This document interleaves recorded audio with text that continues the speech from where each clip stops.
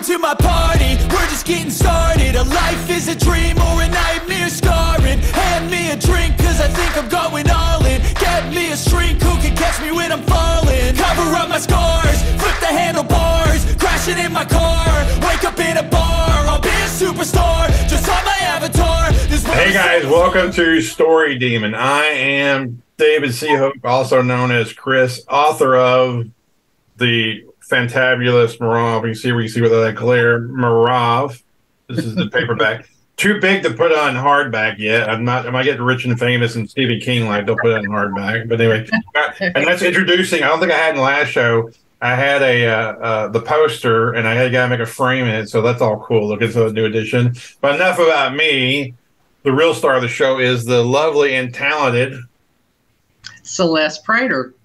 I'm author of multiple books in different genres, like I'm in here somewhere, which is a memoir for Chad Dean from My 600 Pound Life. I don't know if you Yeah. see it very well there. work with a Uh, celebrity on that one. Yeah, I did a little uh, semi auto um, um, autobiography and a or memoir and uh, a how to on uh, someone who built a home from a paper house as a person local here. To me, I thought that was interesting. Pretty cool. So anyway, and then my lovely visiting darkness uh, genre in uh, mystery crime thriller. Uh, this one's one I've uh, done screenplay on, and hopefully to get it into Hollywood one of these years. I'm hoping. Never know. And, Never know. and then one of my books, of my romance books, this one particular is Soterios. He's from Russia. I know him. I know most of my models that are on the cover. So hey, lucky me. But yeah, anyway, I've seen, I've seen pictures with you uh, posing with them. Yeah, when I did a book signing in uh, Hastings in uh, Waco one time, I had uh, had Kalius with me, long haired, and that's the only reason uh, women would come to my table for uh, to look at the books was this hunk was standing next to me. That's why I brought him. That's awesome. I didn't have to yell at anybody, a hawk anybody, going, "Hey, come over here, look at me." It's like, "Hey, hunky man!" It's like, "Brr." I had all these people come over. so they, I know, and I know. So we did. I did movies, and that's kind of what I spent most of my creative time in up until now. And that you always say that you you don't have favorites; they're all your children. But I know deep down, I do have a favorite, and you're looking at it. But anyway, so do you admit that there's a favorite, or do you like really can't say that you have a favorite? Yeah, of of all the books I've written, Visiting Darkness is my favorite because I stepped out of the romance genre. Like I told you before in one of the other shows, I uh, went into writing erotic romance because I thought it was a little easier to jump in and get a traditional publisher. Mhm. Uh, from that point, I haven't gone to any other traditional publishers. They're all indie indie Yeah. now because I've got a fan base that follows me. But but of all my uh, all my uh, 15 fueled by lust, uh, the last one I wrote is always my favorite. So it's like I get I write one and write another. Yeah, I like all of my books in fueled by lust. So that that Yeah. series. I Yeah. think I got two books left on me on that one. I think I think for me, the whatever comes out that's truest to what you saw tends to be the one that you, you kind of favorite or kind of or at least partial to. Like this, Mhm. this is the most. This is the closest to to what I really saw in my head and the finished product. That's the closest I've ever gotten ever. The movies we just never had the budget. Uh, Right. and and It's a, it's like uh, my first book, Druce, is the first one in the series of Fueled by Lust. After I got to about my, my seventh or eighth book, I went, man, because of course my writing skills improved dramatically over the years. So I would go back to Druce and go, oh, I feel so bad. I didn't really tell his story as much as I could have, you know. And so I did a rewrite of him yeah. on my own. Of course, the publisher wouldn't put the new one out there. They go, nah, that one's already out there, rah, you know. So uh, I did the rewrite and I offer it free on my uh, website. So if anybody goes to celesteprater.com, you can get uh, the first book in the Fueled by Lust series. Uh, I'll send you a PDF free. there you It's go. got 33,000 more words in it. Wow. Okay. I mean, I bumped him up. So more world building, which is what we're, our topic is in here today. Which that was a beautiful segue. That was a masterful segue. segue. I didn't even plan that one, so that that worked out really, really Wow, well. you aced. That's a hail mary touchdown. you got that one aced it. World building. I feel World you're building. probably more of an expert on this but I'll start just for grins. Maybe maybe that's helpful because I'll start and you can fix you can fix what I mess up. But we come to Mirov, and I can only speak to whatever. When we did the movies, you didn't have to do a lot of world building in movies because you sort of visual. You can just you can mm-hmm. convey things with just what you see. So if you show somebody that looks like a bum, you know automatically they've made some bad life decisions and they're a bum, right? Exactly. Or, or so you've you've done a lot of work just because you you see it. Or conversely, if I show them on a spaceship, well, they're either in the future or an alternate universe or on another mm-hmm. planet or something. So that does a lot of work for you. And so I had to like use words to do mm-hmm. and I and I and, and this is important, I think. I wrote like these things, essays and articles and even a timeline that I wanted to put in the book. And you were like, not no, but hell no to, to doing that. No. And I was like, yeah, but the, it'll, they'll, I'll, I'll for sure have them in the world. And you're like, no, try harder. And mm-hmm. What I did was, and I feel like now, in the after the end of the first chapter, you have enough to know where we where you are and what you're dealing with now. Now, because I just went ahead and, and, and did some tricks and things like in story to, to convey what the heck where they were, what was going on, and what they're doing and stuff. Mhm. Uh, And it's, and it's so much easier, like you said in the movies, because you got an action line. Uh, they're running across a mountain path, and you know you don't have to really go into a lot of flowery detail about that No. damn mountain. You're gonna find some location for you and do it. But when you're in that book, yeah. you got to build that world in their brain for the, the reader when they're reading it. This should be conveying back to them that. And when I'm also when you're talking about world building, it's not only just this world of sci-fi, and I've got three um, moons above the alien planet. Well, you know, It's also ha- the sequence of doing the world building, which is get that into their brain first. It's not, and it's not like you start out your book saying, we're at this location. There's three moons on the planet. They've got this going on. They've got that boring. Someone's going to lay that book down and be Mhm. mad that they even bought it from me. You have to build it around an action scene and around uh, some dialogue and and uh, slowly feed to this reader that oh they're in this this uh, like you did with Mirov, which is oh now she's going to this base camp. You know she's and she's Yeah. driving the truck up. You know and you're making notices of a hey there's a couple tents and stuff like that. So you're building that world as they're coming into it. mhm. So it's not just a this happened, that happened. There's- I've seen so many books that do this like, well, uh, or, or they'll have this action happening, and all of a sudden they'll stop long enough to tell you, well, then she's wearing blue yeah. shirt, and then uh, you know she adjusted her, you know, uh, green uh, dress. That's how you introduce parts of that world building. World building building isn't just the world, like explaining Earth. It's talking about world building, saying I'm I'm making this person or this character so realistic within this environment. Mhm. and it's how they're touching it's by sight it's how they're feeling it it's how they're smelling it all of that. So anyway i'll let cut you loose on what what your Well, idea for that. So, so, so with Mar- with Mirov, the, the the biggest reason why I wrote a essays or what have you for it is because I knew that the entire the entire universe that we're dealing with in Mirov is like an alternate reality to what we have now, right? It's like it's like a little bit in the future, but pretty much like what we see here. But in the, but if our world could could, could could do deep space travel and have people on Mars. It's like now, but we can do Mars and deep space. Basically, what it comes down to.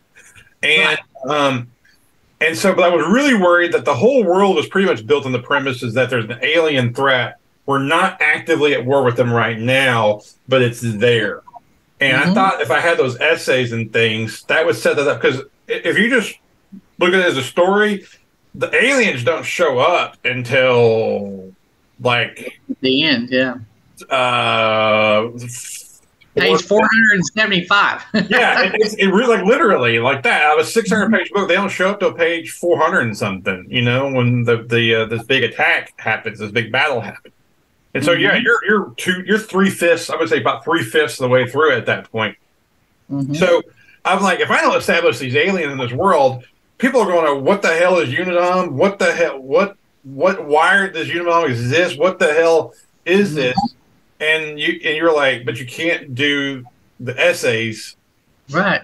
And Mhm. I, what I did was I figured out was like, well, I'll just have it be the anniversary of the, the this Pearl Harbor event that took place, which I always had that in mind that there was a Pearl Harbor event. That's Mhm. always part of the backstory. And but this, That started Unidom. Yeah. today was the anniversary of that, so she watches like a presentation commemorating it, and that's how we get the backstory. Mhm.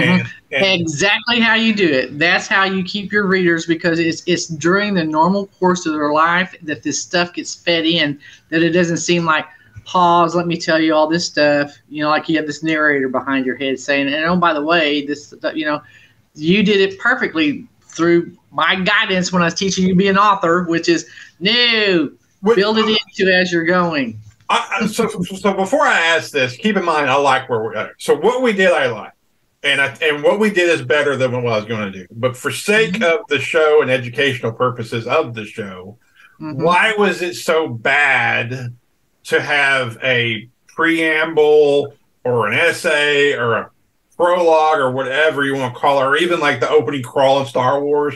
Why was it so bad to have something there that was That like it not the story? What what was so bad? And hopefully, we'll find this out from our next session when we have an actual reader come on and talk to us about their viewpoint. That's the plan. Is we're gonna have a, a reader with with it. my with my 600 books I read as a reader before I even became an author. I would it's it's true to this day even with the young folk, which is instant gratification. I want to be yanked into this world and dragged into it, and so I can forget about what's going on around me. If I have to, if I open it up and I'm seeing this list of stuff and some big explanation before I get to the action and what's really going on in the story, I'm chunking you. I ain't got time. There's Is it millions of books out there. is Millions. tedious? Like what what is it trigger that's so negative? Is it tedium? What what is it? It feels like you're in school all of a sudden. I don't want Oh. to be in school when I'm reading a book, you know? So that's why I kept telling you. I said, if you want to, and it just drives you crazy about this, that you mention it somewhere in, in your book later on. If you want to learn more backstory of whatever, you know, uh, go to my website and I have a whole list. And you did that. You went and put the stuff on your Yeah. website. Hey, you want to learn a little bit more in depth, a little back history, Mhm. or you write later a prequel to it that gets them to Yeah. that point so they understand it. Yeah, what, what, what- what we ended up doing is I took those essays and material. They're actually on my website right now, and I've even posted them on Facebook for people to go there and check them out. I'm like, if you like Mirov, you just want to see some more appendix material, go Yeah. over to the website. They're in the blog, and I went ahead and put uh, the timeline. I went ahead and put that little intro, whatever the hell it was. I guess a preamble, I guess you want to call it, and then Mhm. that essay type thing I wrote. It's all like the, the and I think it's all I had done was those three components. They're they're there on the website. So if, if somebody wants to geek out on that universe, they're there. But I just kept them out of out of here. Out Like I of like I said, I we made the right call, and I I like what we did, but I, It drove you nuts. it did drive me nuts. And I, have to, and I have to admit, it still kind of bothers me a little bitty bit. Hmm Yeah, of course. That's your baby. You took, took all this time and effort to put it together to hope to have somebody have an understanding before they stepped into it, but you can't because you would lose more readers than you would gain. Well, Because this, this is the argument I would make to you when we were doing the book, and uh, and, and I'll repeat it for everybody to see. My argument was always like, well, Tolkien put maps and crap in his.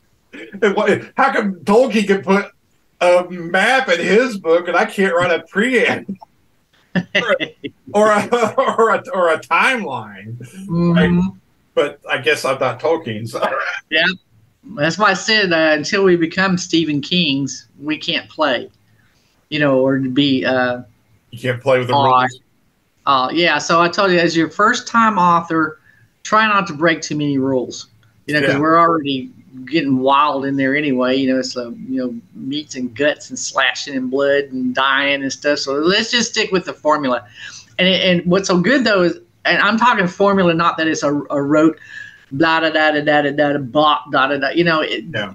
meaning catch them at the very beginning. Because remember, I remind you, I said, hey, when you go on Amazon or, or you get posted on Amazon by a traditional publisher, they'll put it out there, or you go indie and you do it.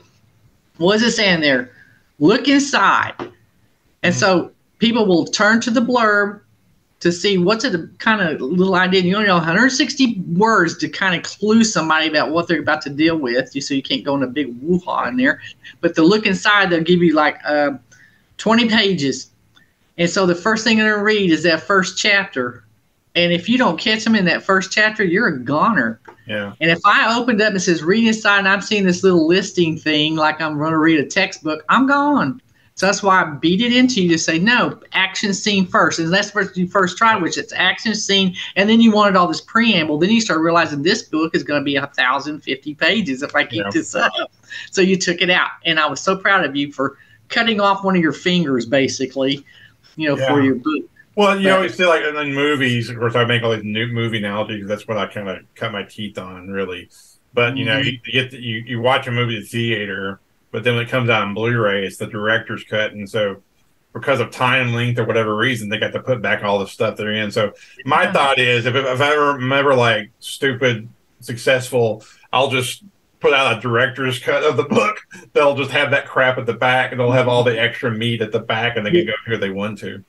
Or put yeah like put it in the back or what i would prefer as a reader is you take all that goody stuff that you have and all that that to me was an outline of a very very good prequel Just write a you book. could have a 200 page book Yeah. prequel to Mirov, which was going, and your uh, hardcore fans of Mirov would go back and go, "Wow, there's some Right. you know Easter eggs in there, or there was something really cool. Now I understand. Oh, that makes so much more sense, Right. or something." And they'll get a kick out of that, getting to go back in time to see Yeah. what. Oh, that's why the Rubery. Oh, the governor lost his eye at this time. You know, stuff like that. So you get to go Yeah. back and explain through that prequel. So, for people watching this, that you know, Mirov doesn't mean anything to them. They're working on their own book. Right. What, where do we where do we tell them to start with world building? I, I know with that one and the other things I've worked on, I just sort of just knew, Yeah. and I don't know if I'm. Well, I don't know if that's a norm. I don't know if I'm gifted that way. I don't know. I just knew the. Well, with your background in movies, yeah, you're a good I didn't really have to like do any homework or like it was all in here, and it just sort of come to me, mm-hmm. it built upon in my mind. But if you've got somebody who's who, who's wanting to be an author and they're wanting to create a world, like I guess what are some exercises or things that you would say to, to do to the world build?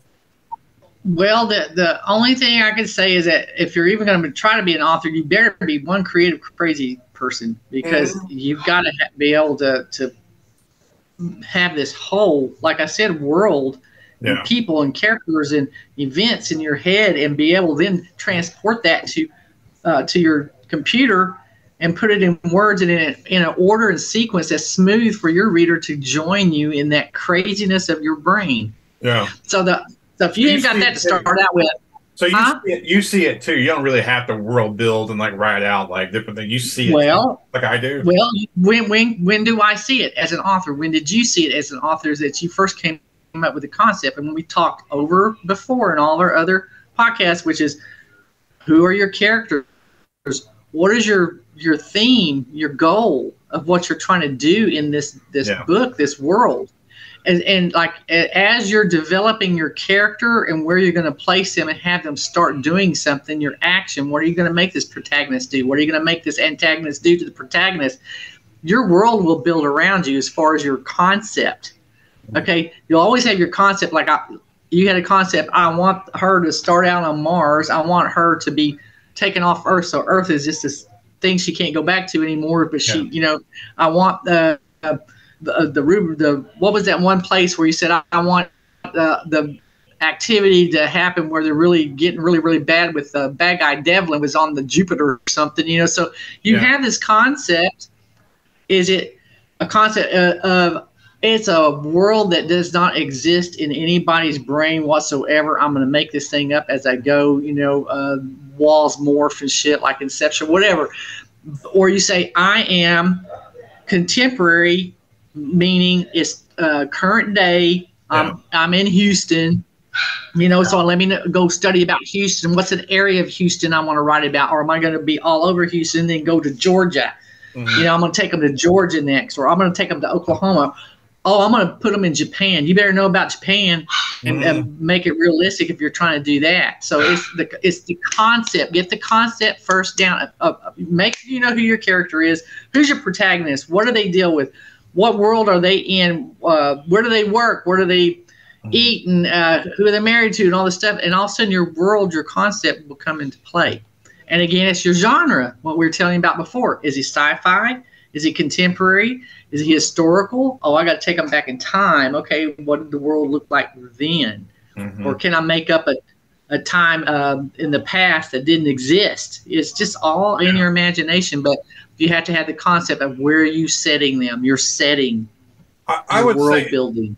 If somebody is an author or, or a new author and they're trying to do world building, they should just take a realistic approach of what that world would be. You know, so like with Unidom, you have basically there's two components of Unidom. There's a a, a, a, a traditional governmental type uh, uh, uh entity, and then there's a, a, military application. And the military mm-hmm. application has shock troopers, and those shock troopers mm-hmm. are pretty much just like the military with with different, you know, they're traditional soldiers, right? You know, to me, they look like a hierarchy of the society. they have general, colonel. They have those, you know, private. They have mm-hmm. typical military type ranks. But then you mm-hmm. have, as a kind of the, the between the, the the, the the governmental and the military, you have the DUI, DOI who are between. They're like basically like the CIA, KGB, or what have mm-hmm. you. And with them, mm-hmm. you've got a hierarchy that's more civilian based, kind of like the CIA. And so, like, I knew, I knew that taking those, there would be practical applications of each. So if the shock troopers are military like, then they're going to have ranks. And then what are they going to use? They're going to have some sort of uniform uniform, and they're going to have also uniform means of travel and uniform mm-hmm. types of guns. And that to me it's like a it's almost like a logic game. That's right. I could put it. So if you're going to put people in, you know, a, a, fantasy world, you know, what do they drink? What do they eat? What do they wear? What do they use for money? Do they have what kind of toilets that you need to know like the basic logical things mm-hmm. that makes it feel like a working world. I mean, the currency. I knew currency was going to come up in mm-hmm. in in Mirov, so I made sure it just they still use use each country had their own currency. In fact when she's selling the mission, they give her a big stack of currencies and multiple currencies because if right. Japan she needs the yen, and then she's or yeah, we got yen. That's right. Anyway, yeah, if she's yeah. America needs the dollar, and so she, they were they, they, gave her what she would need to go to the different places. So to me, it was it was, it was a logic game, you mm-hmm. know. Mm-hmm. And I think it's way to explain to somebody. Yeah, and, and and once you have that, and you, and uh, and I've always whenever I did reviews, not reviews, but uh, I did con uh, not contests. Where are they? Well, I guess they were contest book contests for uh, new authors, where I would actually read a half a script, you know, maybe um, ten pages of a, of their manuscript, and I would review it and give them help, helpful tips and stuff. And and the biggest one was great. You pulled me in with some action, and then you started taking me here, and then I went there, and I, I tell them, I said, tell me what you're seeing in your head because I know they had some kind of idea about what they were going to do. They're all of a sudden, you take me into a room and you say, "Well, the 15 people over in this in the corner over there um, were making a lot of noise." But then I walked out onto the balcony. I'm thinking, and then uh, you know, the, but those 15 people were important to that particular part of the story. I'm thinking, you know what they are to me right now in my brain as a reader? A blob. There's this blob sitting over there. Yeah. So I'm walking through and I'm looking over. There's a blob making noise but if those people are important to that particular part of the story, I was like, well, say, um, well, I got to meet Mrs. Um, Mrs. Uh, Brown, who had a penchant for uh, messing with her pearl necklace constantly. That's world building. You're taking in there and building that world by different actions of your characters, different actions. The the wind swept the window open, you know, so all heads turn toward the, you know, so you're you're letting your readers see that world as it's being created from your brain onto that paper for them to be able to siphon it up to. So many authors forget that you may think that you're telling that person, but just by writing down that she ran across the prairie to the oak tree. Well, how far was the prairie? Is there big tall grasses there? or was her feet uh, sucking in mud? Was she, you know, it was like, come on, give right. me a little bit. You know, just give me a little. So build the world What, in what I, words. what I, but maybe a good exercise for some people, and I think I'm one of these, and I can see it now with my next project. Yes, I'm one of these, where it, just write, just write, just write it. Mhm. Just write it. Yeah. write, a, write a chapter. Don't worry about all this stuff. Just just write the damn thing. And mhm, then, the draft. It's call your- the draft. then it's when you do your cleanups and your second drafts and things that you're editing. That's when you Mhm. add these layers and layers of, of the world. And I think that to me, that is what I find helpful because if I get stuck in the minutia of what you might, Perfect. Perfect. might call world building, then I'm going to Mhm. overthink on the first step, and, and then I'm never going to get this damn thing written. So it's Right, better for me to write Absolutely right. e- even the stuff that you're not going to see, like you're, I mean, you're my editor, so you're going to see it at some point. But I'm doing a draft right now, and I'm doing it chapter by chapter. And what I'm doing is I just, I just write the damn thing. Mhm, Susie went in here, Ted went there. They shot this, they did this. Garbage. mhm. And then you build upon that as well too. It- That's perfect. You can do that as well. Yeah, it's complete garbage for another human to read, but me. But Mhm. then I add all the color. It's like it's like drawing. You just r- rough sketch and then you color it and, and make it nice. And so that that's I think And we talked about that. In our, yeah, we talked about that in a pretty previous uh, session, which was uh, the outline, which Yeah. is trying to find your setting, your world, your characters, where you're putting them, and stuff like that. And like I said, it's like you can just freeform write what's going on there and organize it to get it down. And you're doing that's exactly what you're doing. And I call it in the draft is when you do your little outline one liners, and then all of a sudden you'll find yourself writing a couple of stuff in. I've Yeah. caught myself within a whole four chapters down or something, and I started really fleshing it out with dialogue and stuff because it really caught my attention. Ooh, yeah. you know, and then I'll stop and I'll go back and build my way up to it. So it's it's it's like working with clay, different layers and stuff. I wrote it the first Yeah, chapter.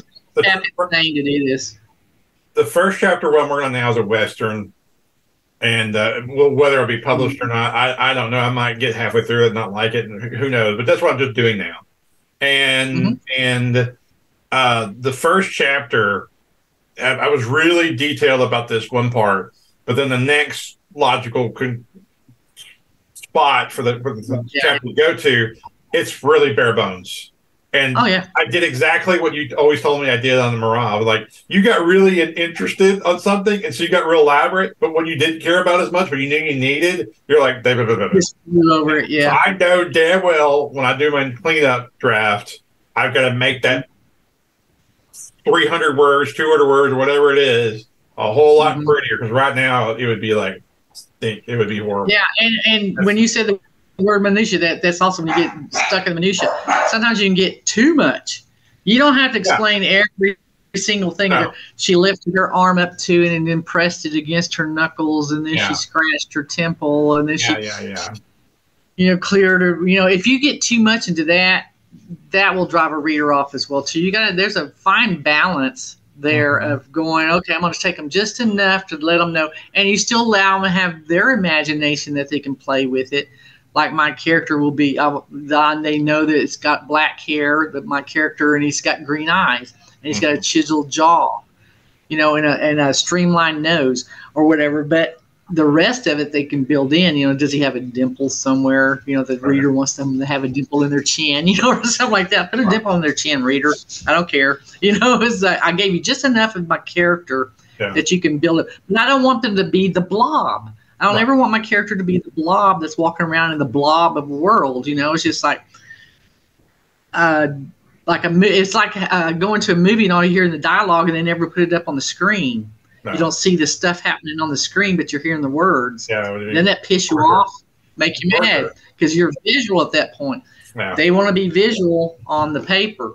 Yeah. So maybe uh, later we can read uh, read a paragraph or maybe a couple of pages, uh, pages, couple of lines out of our book. Like grab Mirov, for example, right now, and read me a passage. Just open it up and read a passage, one little line out of there. Oh gosh, we're at the four minute mark, by the way. So the uh, Oh, okay. First thing I just grabbed: the gunship stopped firing, and she used the concealing dust to look down the train. An entire section of the body lay resting miles back in the distance, and what remained of the last car was cut in half and falling apart as the train dragged it along. Blood still oozing from her wound, Mirov popped up on the ore piled into an open top cargo car. Running across the rocks and down the train link, she ran from the silver car and Devlin's barrage. We're going to go on and on and on. Oh yeah. So what you're doing is you're building it. You're Yeah. you're saying I'm, uh, and it all goes back to POV, point of view. So it's in Mirov's point of view. So I always told you what we're going through the through, the- through the uh, book, which is, are we still going? Yeah, three minutes. Okay. I was telling you when we're going through the book and doing the editing, which is if she's turning to the right, you can picture in her head, turning to the right, she, whatever she can see in that field of her vision, that's the world. Mhm. Or what she can hear. How far can she hear? 500 yards? 1,000 yards? What can she smell? How far away is the smell?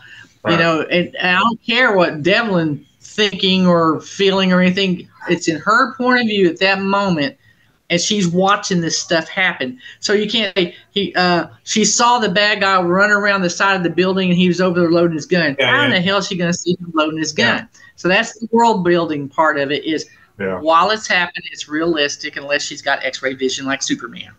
You know, so Yeah. the significance of his distance from the others led Max to believe Frankie recovered a little bit of humanity and decided to honor the victims by re- ensuring their killer never got close again. Even the sheet claimed an unusual color, puke green, muted against a sea of pristine white. A soft voice pulled his attention away from Jason, Jason's loved one.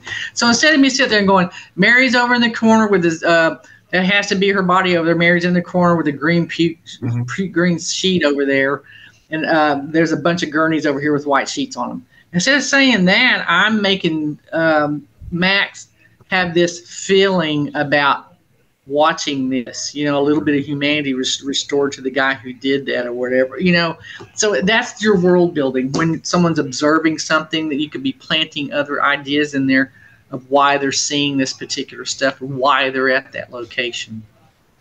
And it takes practice, practice, practice over and over and over. Read and read and read other people's books. Don't copy them, learn from them. So go pick up my book and read, and you will understand about world building. Pick Yeah. up Mirov and you understand about world building because we we beat that into to you about world building and point of view and you know Mhm. things that make sense in sequential order and stuff. So All right. Well, we are running literally out of time, so we're going to call it good there. But we're going to end them with our salute, and I will put up pictures of Oh. the book. Okay. Salute. So people, so people can go find my book. I'll put I'll put picture picture up. I'll put a picture picture up for everybody Picture, to see. picture. Where is it? I can't see it. So yeah, I'll, I'll put- I'll put a picture up of the book so they can see them and send them, tell them where to go. But anyway, with that, Hey, readers, call the show. Readers, we love you. Uh, uh, we're all we're trying to do is help you here. We're, uh, I don't know. Uh, do you have a place for people to put comments, whatever? Just tell us if Yeah. we're lacking on They, they can comments. Okay, ready for the salute? Ready for the salute? Here we go. Yeah.